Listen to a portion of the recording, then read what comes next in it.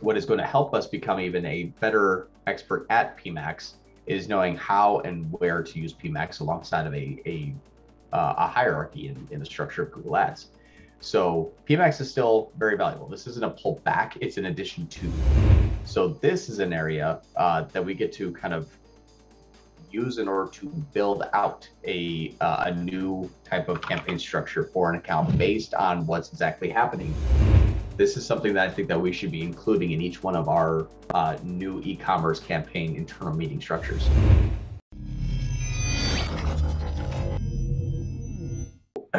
you can actually use this model here to build a brand. We'll talk about kind of brand building techniques next week. Um, this, I think, is something that is that is very important and is going to give us a templatized structure to how we should be building out the e-commerce campaigns. I guess I should say e-commerce accounts. So mm-hmm. on the screen, this is uh, you'll see a a kind of a structure, and this is a template. And what this template is designed to do is to a keep performance max below at or below 20% of the overall total ad spend for the account monthly but also build in other areas that we are going to be able to maximize the success and specifically scale in areas that we need to scale. Performance Max is a moving target. Performance Max will go up on its own and do whatever it would like um, at its own whim, whether that be branded traffic or you know, too much return traffic or or vice versa. Now, the complete opposite is uh, is also possible. We've seen Performance Max scale up really well between you know having only three asset groups or 90 asset groups. Every single scenario um, that Caden and I can come up with. I we have reasons to why it's good and reasons to why it's bad. So we're we're in a, in our attempt in order to identify what is the kind of perfect um, starting structure for e-commerce campaigns. And I say e-commerce because I think that right now about 70% or possibly more of our of our clients are e-commerce. And so I think that this is we've we're kind of becoming known as the e-commerce slash PMAX agency. And while that's while that's still something I want to ride on that coattails, I still want to maintain being the expert at PMAX. I think what is what is going to help us become even a better expert at PMAX is knowing how and where to use PMAX alongside of a a, uh, a hierarchy in, in the structure of Google Ads. So PMAX is still very valuable. This isn't a pull back; it's an addition to. Um, so if we had a PMAX campaign that we just said, hey, we're going to want to run PMAX, we want to build all these assets, we want to have this good stuff, good. Keep that still, you know, viable and keep that that strategy there. We might have an account that already has PMAX that's working really well, and we've taken it over. These are some other ways to think about growing the overall account in the right direction. And the right direction could be we need a whole bunch more branded search, or we need a whole bunch more top of funnel cold traffic there is new campaign types such as YouTube Shorts that we talked about how you can actually take a uh, conversion-based bidding strategy, a true, TrueView for action, which is leads or sales, and put it onto a YouTube campaign that is only shown to mobile users with a vertically um, placed uh, video asset. And that is now another type of area that, that we're testing right now to see if we can have some really good results come from it. So there's ways for us to move the needle in the right direction, even alongside of Performance Max. And will Performance Max steal that that campaign's you know work? Perhaps. Will PMax keep its budget low enough that we can actually have both of those running together and scale alongside of each other? Perhaps. Every scenario is true. And that's what we've come to find out is that as we pull together our experiences, we find out that what worked for one client does not work for the other client. So this is an area uh, that we get to kind of use in order to build out a, uh, a new type of campaign structure for an account based on what's exactly happening. This template will give us a good place to build off of. This is something that I think that we should be including in each one of our uh, new e-commerce campaign internal meeting structures. We go we go over the scenario of the client and we go after, we'll actually start to build out the, the legends here. You'll see risk, high risk of omni-channel. Full PMAX is a, is a high risk of omni-channel. It will live and die by the amount of good or bad and volume of quality traffic or sorry traffic from other outside sources so and here here's the thing that we'll we'll look at is um where's our risks and this is something that really has not been talked about before. The risks of omni-channel is going to become more and more and more prevalent in the higher up the funnel we go, or higher up the the clients, I guess, um, ad spend and and popularity and size we go. if you have one client that's spending five grand a month and they're only on YouTube, or sorry, they're only on Google, there is no risk. Everything's green. Everything is because of us. We are the only thing driving traffic and the only thing working because we are the only thing. When the client's spending $100,000 a month on Facebook doing, you know, mailers, like, you know, essentially postcard mailers, uh, so organic traffic's flowing in, and then has you know a thousand different SKUs and you have outside uh, influencers also driving traffic. All of those things that take into consideration um, how outside uh, sources could screw us up they all point to automated targeting or too much emphasis on remarketing. Now, what that means is that if you do have a lot of outside traffic from, let's say, Facebook, you have, let's say, 100,000 users per month coming from Facebook clicks. If that traffic is very good quality and they are converting, your full build PMAX campaign is going to look heavy brand, but also have really good ROAS. Is going to show really good cold traffic as well. That's that's a factor. We will see a mix of those three. Why? Well, you have good Facebook performance and good Facebook presence. So naturally, people are not just going to wait to see a Facebook ad when they're ready to buy. They're going to Google the brand name. And if our brand campaign isn't spending enough to capture 100% of the traffic, they naturally flow into PMAX. Now, the exact opposite, though, is if you have 100,000 users coming from Facebook that are terrible, you're going to see less branded search inside of PMAX, but you're going to see more dynamic remarketing in PMAX. And the dynamic remarketing is going to fail or going to perform poorly because you have your dynamic remarketing, remarketing uninterested traffic primarily first, because those are website visitors, those are quote unquote lowest in the funnel, it's going to spend a good amount of ad spend there. If the people are engaged, like clicking but not buying, that's where that ad spend is going to stick for months. So that's a very high risk of omni-channel.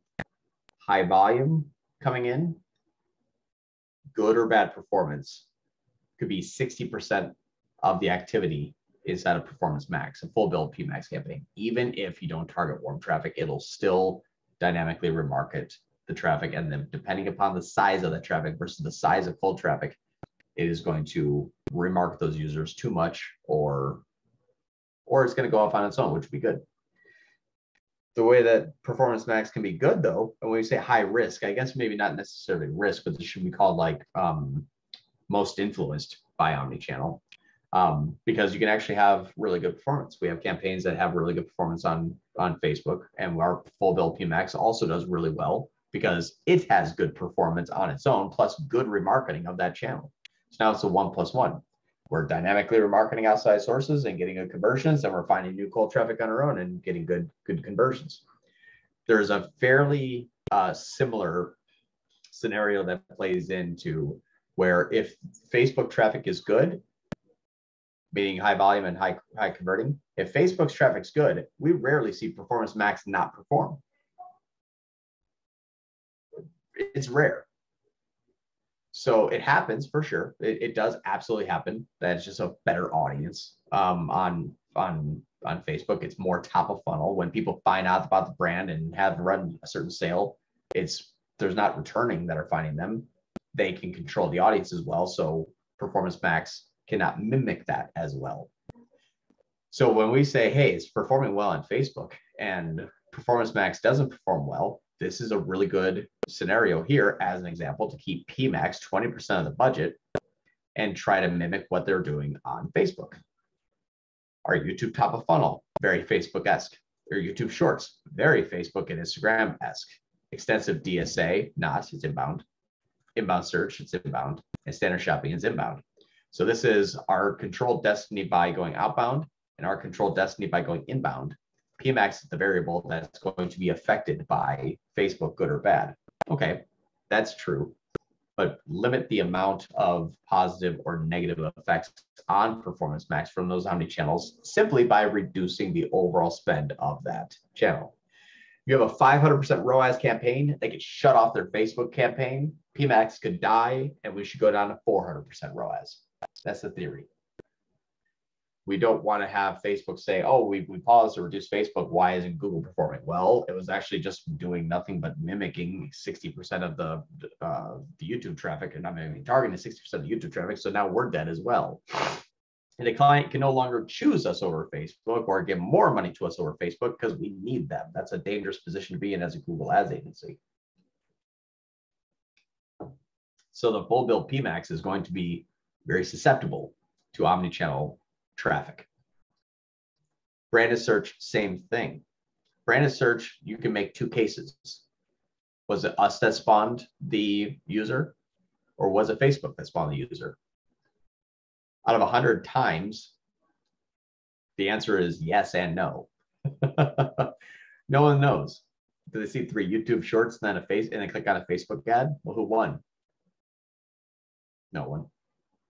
It takes an average of 30 point like eight times or 32 or 36 times, whatever it is now. It's it's over 30 impressions for a person to convert. I want to give I want to give everyone a, a question. And then and I don't need to drop this in the chat because it's kind of stupid because the question is kind of unanswerable. But it's a very, very, very, very, very, very good way of thinking about this. Who knows the amount of ads they've seen today or heard today? On the radio, on TV, on Facebook, on YouTube. How many ads have you seen today? Does anybody know the number for them specifically? Like, yeah, I saw 264 ads today. Does anybody know that number? No one does. Does everyone remember 15% of those ads? No one does. You can't remember if you saw 200, the average person sees 3,000 ads a day, just globally whether it's driving down the street, listening to the radio, seeing a billboard, seeing a special on the Dairy Queen sign when you drive by, two point blizzards. No one remembers the amount of ads that they've seen. So when you say, well, who won on inbound branded search, it's impossible, impossible to know. It's not going to be possible. No attribution tool in the world will be able to figure it out, period. You have word of mouth in there that just throws all the metrics off it too. So knowing that branded search is really most risky on omni-channel, was it us that that's that that spawned that conversion there? Yes. Was it Facebook? Yes. But if this is less than, you know, if it's 10% of our brand name, where do those conversions have to come in from? They have to come into back into these campaigns here. The attribution model says, well, your brand campaign stopped running and the person went to the site organically and directly and they converted. Where they come from? They came from inbound search. Perfect. We're giving that attribution back to the original channels because these are not lion share spend campaigns in the account enough so that it throws off all the attribution. Hey, I see Kate in here. Is everything uh, everything good? Yeah, I'm just changing some stuff from what you were just talking about. Cool. I forget that this is live. yeah, it's kind of weird. cool. Um, YouTube remarketing, same thing as PMAX. PMAX does what Google states is 60% of the YouTube activity inside of Performance Max is to a remarketed audience. Uh-oh, omni-channel. Well, does that mean that 60% of my remarketing could be half of that or three quarters of that could be Facebook? Yeah. How's the traffic? Find out in your Google Ads account. Facebook stopped tracking after a one day view and seven day click. On day 12, you spent the money and failed. Facebook still looks like it didn't change though. So YouTube remarketing is going to be heavy dependent upon omni-channel as well. That that example that I just gave does not have a large amount of budget to YouTube remarketing. I do want it. I don't want it to be a large enough budget that's going to drop ROAS or live and die by omni-channel, but I do want it for the benefit of my campaigns especially now with the new click and view attribution, if you're using data driven and someone searches the brand name after engaging in a YouTube marketing ad, we'll see those those conversions be given to back to also search campaigns. So there's some things that we can identify to say, yes, this did work. I'm not spending enough, um, or I'm not spending too much. Um, I'm spending, let's say, $25 a day, and I'm getting 10,000 people a day impressed and 2,000 views and 27 clicks. Cheap enough at you know that, that, that a dollar cost per click. Cheap enough to make sure it's a worthwhile, but it's wide reaching and it's, it's doing a very large amount of impressions on people uh, and views, but not enough to throw the campaign performance, but enough to overall raise the account, the overall company's MER media efficiency ratio. All cash in, all cash out. It's a little, it's a cog in the wheel. Any questions about these? Why don't I get this away? Can I drop? Well, there we go. Well, it popped back. Go away. Oh, it's because of, there we go. All right.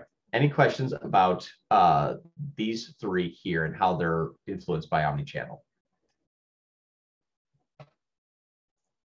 See where Gina looked like. Oh, I thought you were like, I thought you were going to say something. Hey, John. Actually- Yeah, sorry. Regina does have a question. Do you want to open Oh. your microphone, Regina? Go ahead.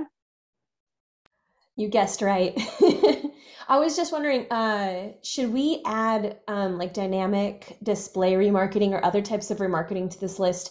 If we're like if we're going to use it to kind of like um, decide upon the budget allocation for account builds, um, you know, I don't know. Maybe I'm overthinking it, but should we have like a bunch of campaigns, like anything we could possibly want to run? Or I guess we could just customize it as we go, right? you you can um pmax since it does do a lot of remarketing but not but it doesn't do a lot of remarketing on youtube. Um and that's the thing if everyone looks at their views they multiply it by the cost per view and they look at it from the total spend in that timeline. A lot of times it's like i spent $512 spent six bucks on youtube. The remarketing though is still a really heavy um heavy area inside of performance max so this is something I can't answer until we have an exact same scenario. That's the purpose of this exercise is should we have display remarketing? Well, I'll give you, I'll, I'll give you a great, great, great example. Um, I'm going to share a screen on this one because this is extremely important. And there's been a, a kind of a, an identifier that Kate and I made that it just blew my mind because what we thought and what Google stated is incorrect because I was able to isolate it to a client that has amazing performance, a low volume. So here, here's the area that I think we'd have to look at. It's not going to be exact, but it's an indicator. We can test it, but we want to test it, and, and again, in a silo, five or 10% of the overall account, not too much, because we may not see the effects of remarketing if people seeing keep seeing an ad, seeing an ad, seeing an ad, Google the brand name. We can't tell. We have to look at overall performance after I added that, did things get better or worse globally? So check this out. In the last seven days, I have one PMAX campaign running nothing, no assets. It's pure, it's just feed only. I spent 450 bucks. I made 12 or 11,000 for 2,400 ROAS. And in this campaign here, the $450 made 34 conversions by conversion time and conversions by click, which we'll have to know is, I think it's like 30, yeah, 29. So let's call this 30. Now, inside of the listing groups, in the last seven days, there is sorting by conversions 30. They're matching up perfectly. Like, yes, all products. This is not on, but this is just indicative of all products 29.72, exact one to one. In the Insights tab, my search categories equal. This is not a glitch. I'm interrupting the video you're watching because I need to remind you that I'm always looking for people to join our team. So if you're passionate about Google Ads and you want to work with the best Google Ads agency on the planet, please go to sol8.com forward slash apply. Speaking of working with the best Google Ads agency on the planet, if you're having trouble with Google Ads and you want professional help, that's what we do. You can go to sol8.com, that's S O L 8.com, to apply for your free, no obligation action plan. And if I've given you any level of value at all, maybe think about giving me a thumbs up and subscribing to our channel. That's how we juice the YouTube algorithm so they actually know that I know what I'm talking about. If you have questions, comments, concerns, or confessions, hit me below in the comments. And now, back to your regularly scheduled program. about 30 as well. So how am I getting search categories saying I have conversions? And I'm also getting my listing groups, which is my shopping ads, also has 30 conversions. I don't have 60 conversions. I have 30. But this search category is telling us that the people that typed in Skyway luggage 28 inch clicked on a shopping ad and converted because I did sell one of those products. So this is not DSA only. This is all inbound search, regardless if they came in on shopping or on on on search ads. There's both in there. They they both do exist. So now what does this mean? Well, if I'm spending $66 a day and I'm getting extremely cheap cost per conversions, and I know that these products here, like Samsonite Travel Pro and like and uh, Skyway and Delsey, I can spend thirty thousand dollars a day on this, easy. So because I'm spending sixty-six dollars a day, how much of that sixty-six dollars a day is avoiding that massive amount of inbound search and doing dynamic remarketing? Very, very, very little, if any at all. Probably none. My days to conversion, when you look at how how soon after they click do they buy, out of 34 sales, sorry, I clicked the wrong one. Out of 34 sales, I have 28 of them coming in less than a day. That pretty much means one click, one sale. Is there a lot of dynamic marketing coming in here? No, because dynamic marketing would take two, three, four, five days. And I would see probably 15 or 16 or maybe 20 out of 34 coming in less than one day. Dynamic marketing would bring them back. This is a one search, one click, one sale account. Okay. Do you want to put on dynamic marketing? Maybe. Yeah, actually, maybe. Uh, honestly, this one could be good. Why? I don't see dynamic marketing working in this account. My, but is it more expensive? That's then the, the flip side is if I do launch display remarketing, is my cost per conversion cheaper than 15 bucks on that campaign? If not, I'm hurting my overall account ROAS and CPA. Unless it increases the conversion rate on this campaign somehow. Yep. Yeah, and that's where you have to look at MER. Exactly. MER, all cash in, 454, all cash out, 11. Uh, I don't care what the ROAS is. If, if, if, if everything looks to be better because it misattributed it, yeah. Then, then if I see a $30 conversion on remarketing, but 15 goes down to 10 and overall I'm actually $14.29, we win.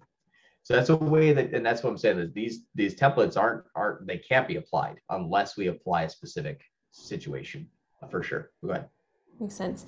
I just want to clarify. Uh, uh, well, I was really interested to hear your answer, so I didn't interrupt you sooner. But I wasn't in the beginning. I wasn't asking, should we run dynamic marketing?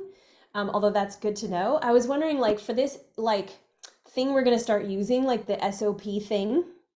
I guess if we start using this, um, do we customize which campaigns we're running? Like, how do you see the, the company using this?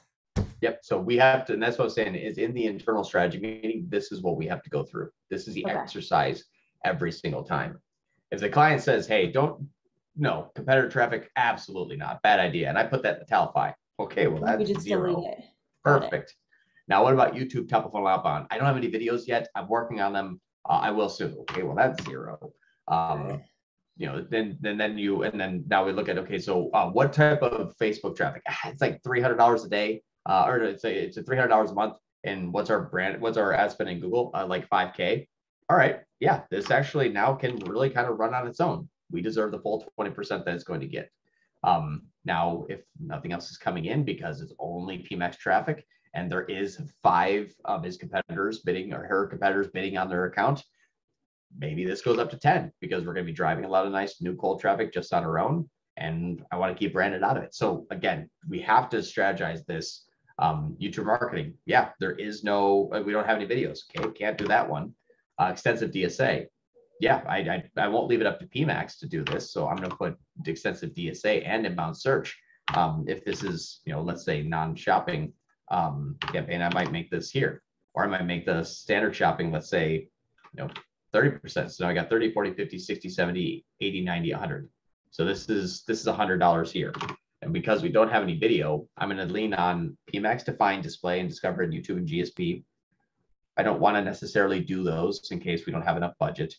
It is e-commerce. The company is doing well, so I'm going to try standard shopping because I control the CAC, I control the ROAS, I can control new customer versus returning customer, and I also could do that in search. So again, bad idea to just like do it that fast, but that's how this should work is how is his his current business doing? What's his LTV? What's his ROAS? And if we find out that says, yeah, my my ROAS actually I need 400%, like I can't go below 300%. My products are $500 each, so it's the easy AOV to get.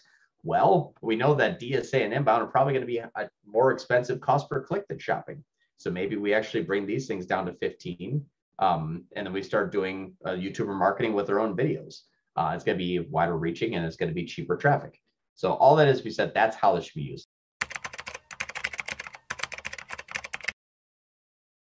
We have created a standard operating procedure for Performance Max. And when I say we, I mean John, really. John has created a, an SOP for Performance Max. I'm so excited about this. I think it's a massive, big, gaping hole in the industry. Uh, as of yet, there's really no scaffolding around the decisions that you're making. Um, so we wanted to share this with the world.